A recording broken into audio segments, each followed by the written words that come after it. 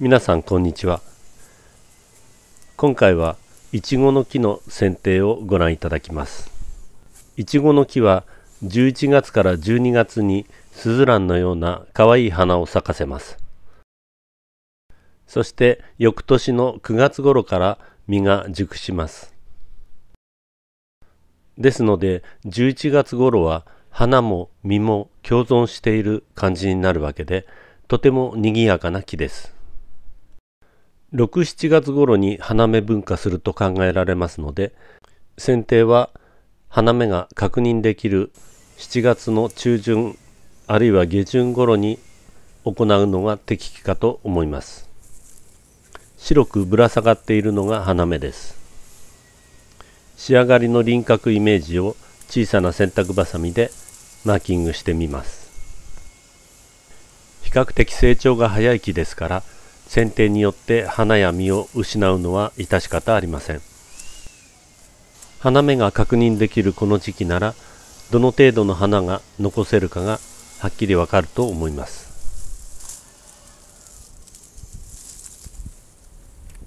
予定の輪郭より外にある花芽や実は失われますけれどもまあそこはあまり欲張らないことです。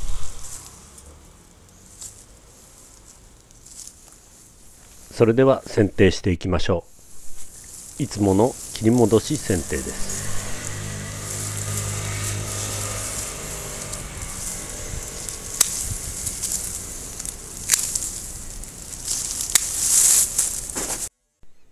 この切り方とこの切り方は切り戻しですけれどもこの切り方は切り詰めです。枝の途中で切り詰めると余計な枝を増やしてしまいますのであまり多用しない方が良いです。なるべく切り戻しで処理した方が木は暴れません。あまり形を整えることに執着せずに切り戻した枝先は詰めないでそのままにした方が木は茂りません。このイチゴの木のように蝶芽に花芽がつくものは特に枝先を詰めると花芽を失います。枝先を密にしたい場合はどしどし切り詰めてください。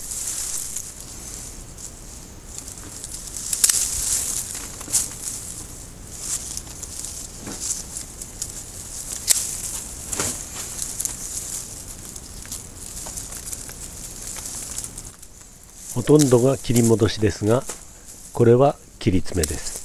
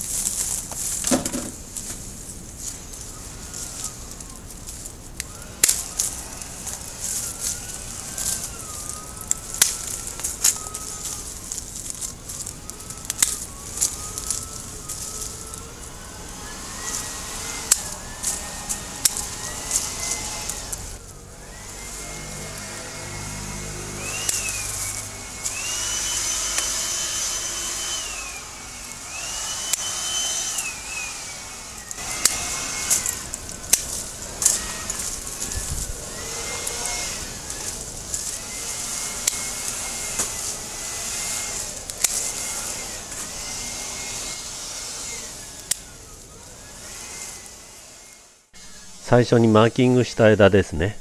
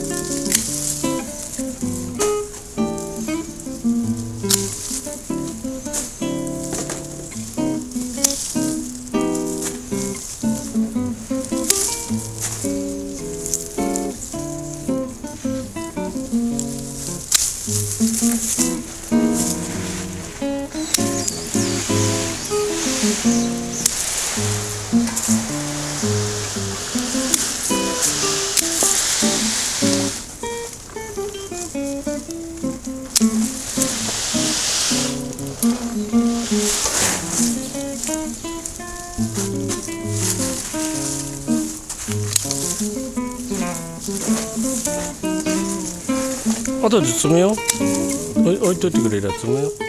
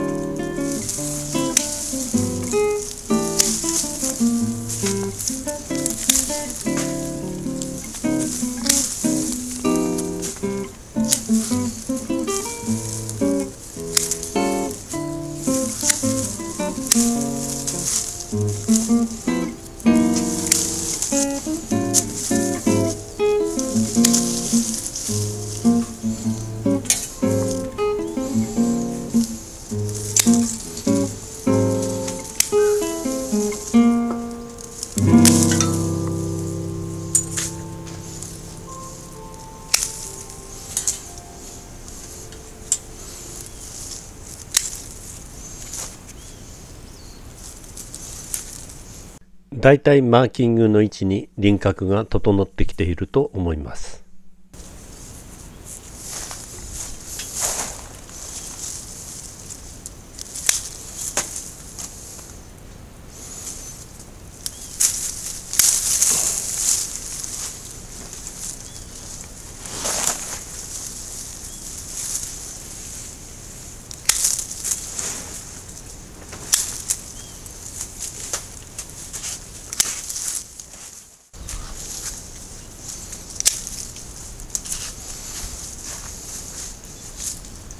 気になる飛び出しはたまに切り詰めます。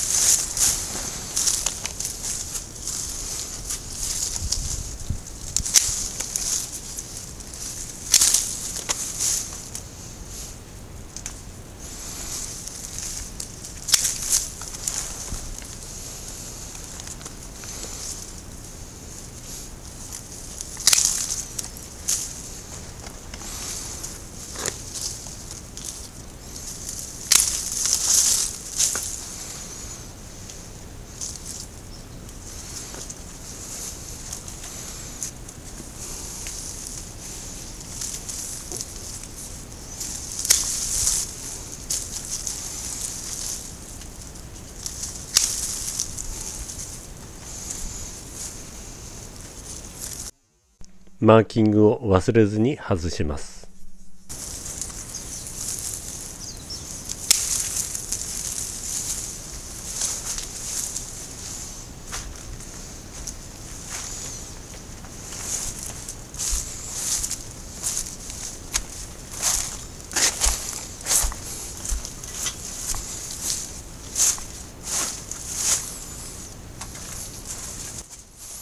こんな感じで良いと思います。おしまいです。余談ですがこのお宅は20年ぐらい前に造園したお宅でその時のキャラ玉が枯れてしまったので6年前にこのイチゴの木に植え替えたのだったと思います。ちょっと20年前が懐かしくなったので写真だけ並べておきます。ご視聴ありがとうございました。